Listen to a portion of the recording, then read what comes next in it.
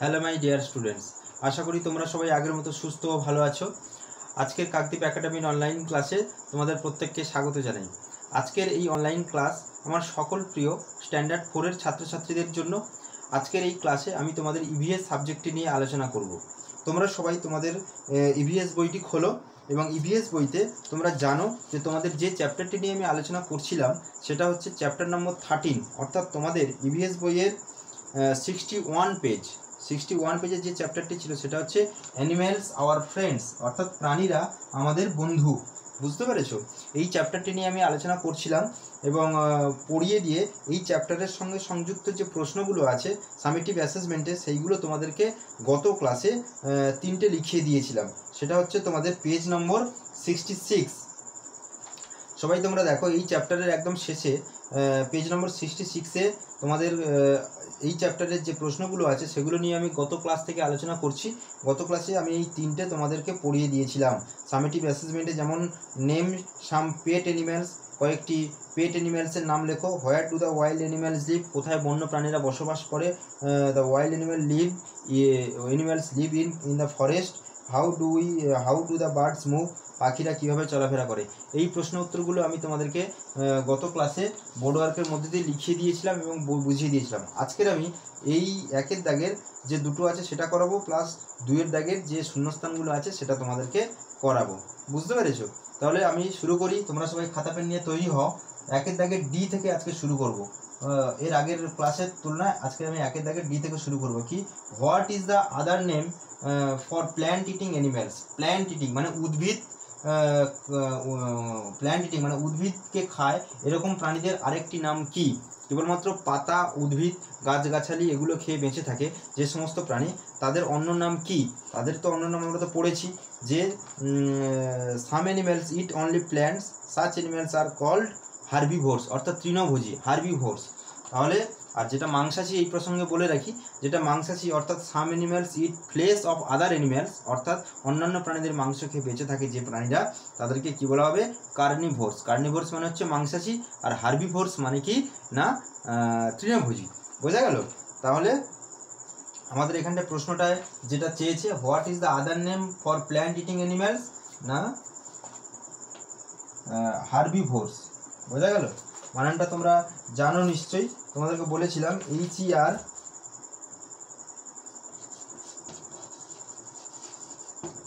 V I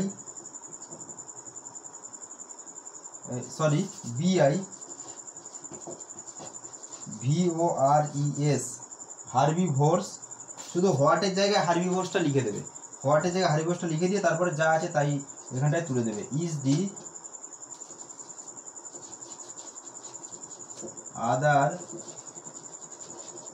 name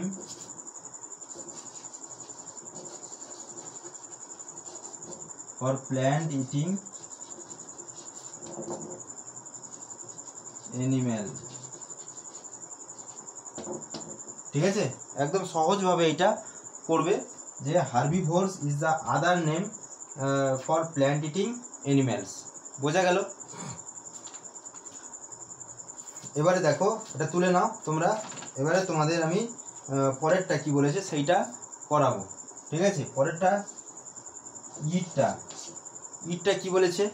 দেখো which animals আমি প্রশ্নটা তুলছি। Which animals are known as beast of burden ঠিক আছে? কোন প্রাণীদেরকে বিস্ট অফ বার্ডেন বলা হয়? কোন প্রাণীদেরকে বলা হয় বিস্ট অফ বার্ডেন তোমরা এটা জানো। তোমাদের সঙ্গে আমি আলোচনা করেছিলাম এটা যে হর্স অ্যান্ড ক্যামেলস বোঝা গেল? Horse and camels are known as beast of burden horse and camel তাহলে হুইচ অ্যানিমেলের জায়গায় ওইটাই দিয়ে দাও শুধু যে হর্স অ্যান্ড ক্যামেল আর একদম তারপরে যা আছে তাই are known as are known as beast of burden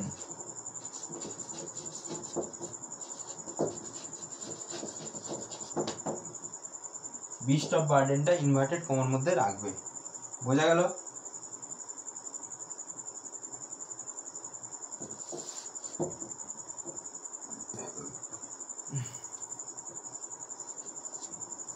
তাহলে which animals are known as beast of burden না? Horse and camel are known as beast of burden. একদম সহজভাবে এই প্রশ্নগুলো তোমাদেরকে লেখানো শিখিয়ে দিলাম। এবারে আমি দুয়ের দাগের প্রশ্ন উত্তরে চলে যাব। ঠিক আছে? দুয়ের দাগের প্রশ্ন উত্তরে চলে যাব। আশা করি প্রথমেরটা তোমরা লিখে নিয়েছো।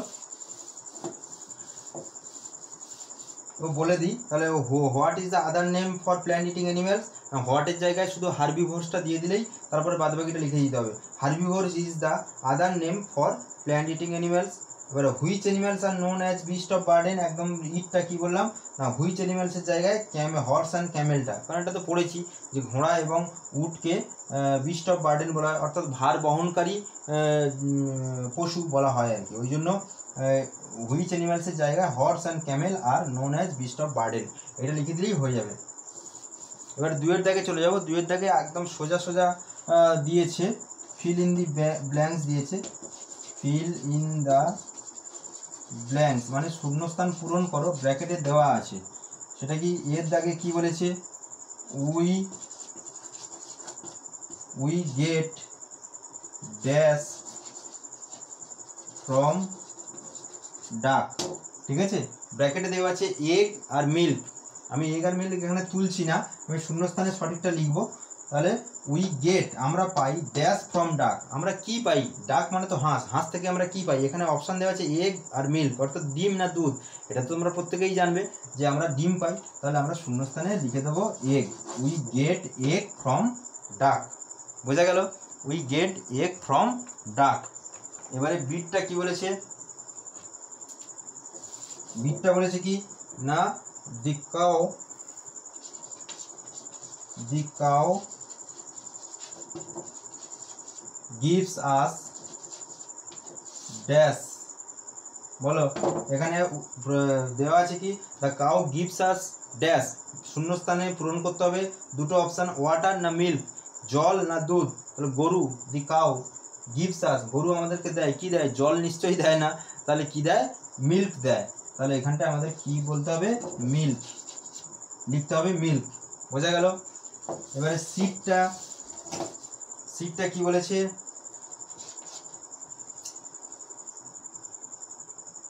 Dash is used dash is used ব্যবহার করা হয় to plough to plough P L O U G H plough মানে হাল করা fields F I E L D S dash is used কাকে ব্যবহার করা হয়? টু ফ্লো ফিল্ডস অর্থাৎ মাঠ বা জমিকে কর্ষণ করতে গেলে কাদেরকে ব্যবহার করা হয়? এখানে অপশান আছে টাইগার না বুলক বুলক মানে কি? না বলদ গরু? আর টাইগার মানে বাঘ? তাহলে বলদ গরুকেই কিন্তু মাঠে হাল করতে বা জমি কর্ষণ করতে ব্যবহার করা হয়। তাহলে এখানটা আমাদের কি লিখতে হবে? Bullock B U L L O C K এটা যেহেতু সেন্টেন্সের প্রথমে শূন্যস্থানটি আছে, তাই বিটা অবশ্যই বড় হাতে লিখবে তোমরা সবাই, ঠিক আছে? তাহলে bullock is use to plough fields কেমন? এবারে আমরা চলে যাব ডিটা ডিতে কি বলেছে? ডিতে বলেছে dash is a place eating animal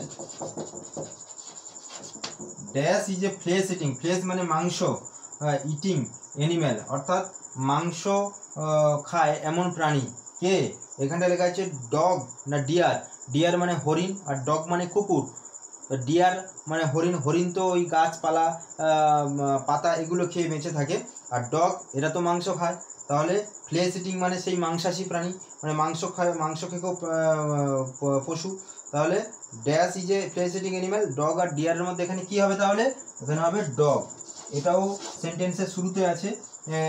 শূন্যস্থানটি ব্ল্যাঙ্কসটা তাই এখানটায় ডিটা তোমাদের ক্যাপিটাল লিখতে হবে। তাহলে dog is a eating animal বোঝা গেল? এবারে আমি প্রথমের একটা মুছে দেবো। মুছে দিয়ে তোমাদের একদম এই শূন্যস্থানের শেষে যেটা আছে ঈদ দাগে, এই ডি ই ইটটা ওপরে আমি লিখে দিচ্ছি। ইটা কি বলছে? A dash keeps away rats keeps away rats keeps away মানে দূরে রাখে র্যাটস ইঁদুরদেরকে। এ ড্যাশ একটি ড্যাশ কিপস অ্যাওয়ে দূরে রাখে র্যাটস ইঁদুরদেরকে দূরে রাখে। কোন প্রাণী? এখানে আছে মাংকি আর ক্যাট দেখো মাংকি আর ক্যাট মাংকি মানে বানর আর ক্যাট মানে বিড়াল। মাংকি তো নিশ্চয়ই ইঁদুর ধরে না। তাহলে ক্যাট বিড়াল, ইঁদুর ধরে এবং এরা ইঁদুর শিকার করে এবং ইঁদুরকে বাড়ি থেকে দূরে করে দেয়। তাহলে এ এখানটা কী হবে? ক্যাট হবে। বোঝা গেল? Cat a cat keeps away rats কেমন? তাহলে একদম সোজা আমি প্রথম থেকে কি কি করলাম সেটা বলে দেবো। যেমন দুয়ের দাগের এতে কি ছিল? উই গেট ড্যাশ ফ্রম ডাক এখানে অপশান ছিল এগ না মিল্ক তাহলে আমরা হাঁস থেকে কি পাই? এগ অর্থাৎ প্রথম শূন্যস্থানে একের দাগের এ দুয়ের দাগের এতে এগ হবে। তারপরে the cow gives us water milk তাহলে মিল্ক হবে। শীত দাগে ছিল dash is use to plow fields মাঠকে জমি কর্ষণ করতে বা হাল করতে কাদেরকে ব্যবহার করা হয়? টাইগার না বুলক তাহলে বুলক হবে এখানটায়। লিখে দিয়েছি এই যে বুলক তারপরে দেখো ডিটটা কি বলেছে? Dash is a flesh eating animal মানে মাংসাশী প্রাণী, কে ডগ না ডিয়ার তাহলে ডগ হবে। তাহলে dog is a flesh eating animal তারপরে ইটটা কি বলেছে? A dash keeps away rats অর্থাৎ a cat keeps away rats এখানে মাংকি আর ক্যাট ছিল। তাহলে ক্যাট হবে, তাহলে a cat keeps away rats ভালো করে সুন্দর করে তোমরা এটা তুলে নিও, তুলে নাও, তুলে নিয়েছো নিশ্চয়ই। ক্লাসটিকে ফলো করে বাড়িতে যেমনভাবে আমি পড়ালাম, সুন্দর করে এটা বাড়িতে অভ্যাস করবে এবং পড়বে পরবর্তী পরীক্ষা প্রস্তুতির জন্য, বুঝতে পেরেছ? তাই তোমরা অনলাইন ক্লাসটাকে ফলো করো এবং বাড়িতে থাকো, সুস্থ থাকো, পরের ক্লাসে আবার পরের চ্যাপ্টারটি নিয়ে আলোচনা করব এবং পড়াবো। সবাই ভালো থেকো।